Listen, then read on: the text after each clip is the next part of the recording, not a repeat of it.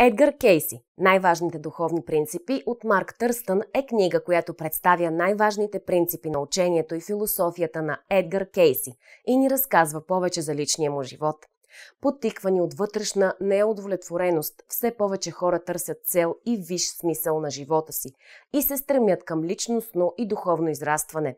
Според Едгар Кейси всички се раждаме с определени умения и таланти, за да изпълним своята уникална мисия на Земята – Целта на тази мисия не са богатството или славата, а принос към общото благо и духовна еволюция. Само когато се свържем с висшия си аз и тръгнем по пътя на предназначението си, постигаме вътрешен мир и душевна хармония. Ето какво ни споделя относно сексуалността.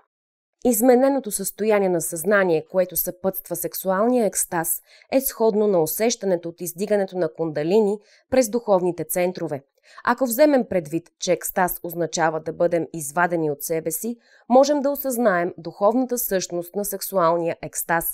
Според Кейси, сексът е свързан с упражняването на най-висшите емоции, които може да изпита физическото тяло.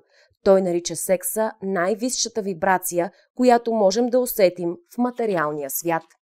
Марк Търстън работи 36 години в основаната от Кейси асоциация, като разработва система от техники и упражнения как да открием мисията си. Методите му се основават не само върху идеите на Кейси, но и върху трудовете на видни учени като Виктор Франкъл и Карл Юнг.